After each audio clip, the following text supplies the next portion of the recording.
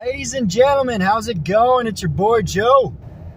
How is it going? Gosh, I missed you all. Sorry, it's been uh, a few days here on the videos.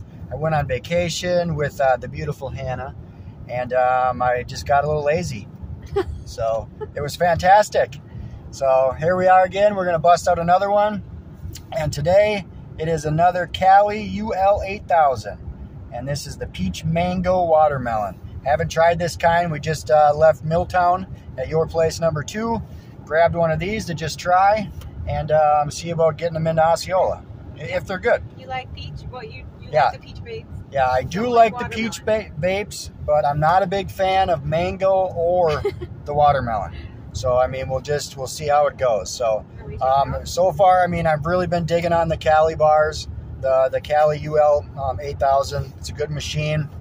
Um, they seem to be lasting really well. Very hardy machine. I drop it, throw it on the ground, it still works.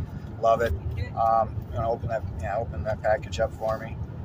And uh, yeah, so I've really been liking the the machine itself. Um, smart device, you know, lets you know the battery life, juice life, um, all that good stuff.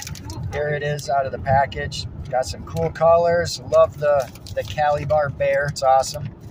Open that up for me too. There, beautiful. Yes. Smells mango-y. Oh yes, that's mango. Check it out, guys. There's your digital device right there, or screen. Here's where you charge it up. Take some of this stuff off. Sorry, guys, I'm in the car here, so forgive the the camera movement here. All right, there she is. Check that out. You know, the colors are super retro-y. I was just Yeah. thinking, here's this other one. Yeah. Can you see it? Yeah, yeah, you're right. Like- Retro-y, like, got a a. lot of retro. Yeah, I like it. Yeah. Man, that's mango. Hopefully it's not too mango-y. All right, here we go. Ladies and gentlemen, Cali. You can see... Oh, that's not bad. Not bad. Mm. Mango. I'm getting mango, which is fine, but I'm also getting the peach. And I'm getting very, very, not very much on the watermelon. So I can definitely appreciate that because I'm not a fan of these watermelon vapes at all.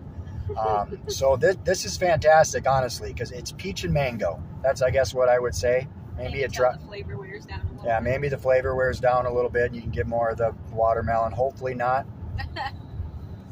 But this is really, really delicious. Not cooling on the throat.